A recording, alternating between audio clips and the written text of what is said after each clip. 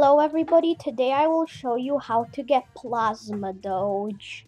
You want to go over to the Fire Dimension.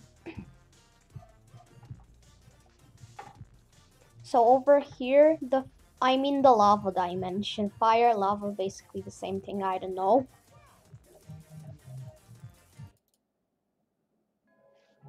Ooh, spooky scary.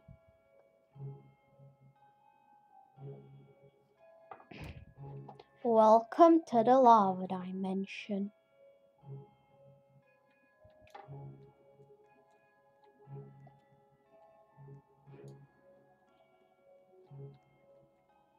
Plasma Doge will randomly spawn here. There's going to be a giant purple portal, and out of the purple portal, Plasma Doge will spawn.